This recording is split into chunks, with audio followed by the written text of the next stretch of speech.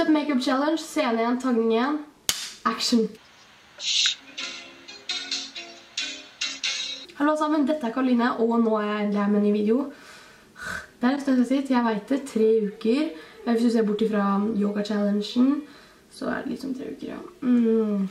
Hva har jeg gjort siden da? Jeg har vært på to uker seiltur, og uka for der så var jeg veldig lat. Som dere kanskje ser, så har jeg fått litt bleikere hår foran her, og jeg har fått um, skille, fordi to uker på en seilbåt i sola de fleste dagene, så blir man litt brunere. Mixed Up Makeup Challenge. Jeg skal gjøre det nå. Jeg har gjort det med Marialt, og det var ufattelig moro sånn. Så ja, why not do it? Det gjør at jeg har to bokser med ti lapper i hver, og der står det i den ene sånn ting, produktet man skal bruke, for eksempel foundation, så skal jeg bruke det. Og hvis jeg trekker oppi her, så tar jeg blush, og da skal jeg bruke foundation som blush. Og det skal jeg gjøre helt til det blir to flapper. Så jeg har ikke noe mer å unnskylde eller forklare, så da kan vi bare sette i gang. Første ting jeg skal bruke, det blir blush.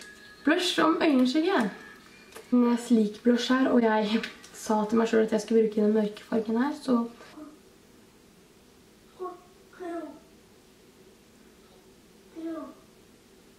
Og bare så det er sagt, så er det her en kremblush. Fin start. Mascara. Please Gud, si det blir mascara. Eyeliner. Ok, det er ikke så ille. Let's do it. Ah! Ah!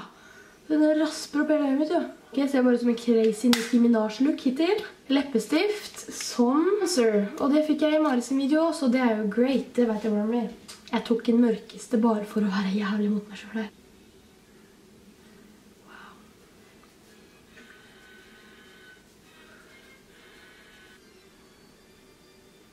Nice. Det er for nice. Nei, jeg har ikke nice.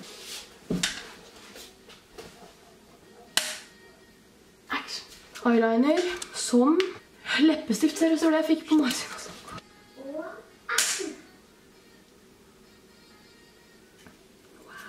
Foundation. Nå blir det vel mascara. Det her er jo ment til å bli som highlighter. Ok, den var jeg litt heller med da. På Ok, highlighting. På sitt beste. Det ble highlighter. Concealer. Det blir interessant. Det var veldig mye. Hva tror du for mye nå da? Lipgloss som mascara. Jeg har prøvd brun mascara, men jeg har aldri prøvd burgundere. Jeg har ikke fått noe som stemmer ennå, så jeg håper det blir nå snart. Concealer som lipgloss.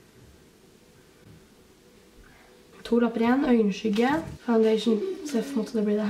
Altså, alle tror kanskje at man skal ta foundation først, men det er egentlig det man skal ta nest til slutt. Nå ser jeg bare ut som et monster, så nå vet jeg at det er bronzer. Som blush. Done. Sånn, så la resultatet synke inn i deg og få deg til å innse at du, jeg vet ikke, at det her ser helt forferdelig ut i hvert fall. Jeg håper dere likte denne videoen her. Hvis du synes den så bra ut, så takk skal dere ha. Hvis dere ikke synes den så bra ut, takk skal dere ha. Jeg håper du likte videoen, så snakkes vi forhåpentligvis snart igjen hvis jeg lager en video snart. Ha det bra.